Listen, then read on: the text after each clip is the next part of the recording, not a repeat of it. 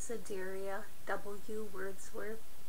The speaker is surprised to suddenly remember his most beloved, Desideria, now gone and buried.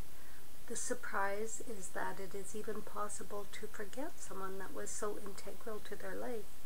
The pain of longing is only matched by the moment when realizing they were gone forever. Desideria. Surprised by joy, impatient as the wind, I turn to share the transport. Oh, with whom but thee, deep buried in the silent tomb, that spot which no vicissitude can find? Love, faithful love, recalled thee to my mind, but how could I forget thee? Through what power?